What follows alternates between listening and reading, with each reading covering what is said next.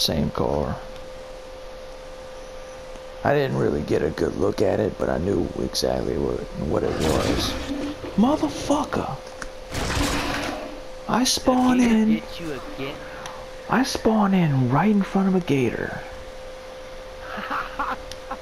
I'm sorry. Jesus Christ. What is with this whole gator situation? Oh no.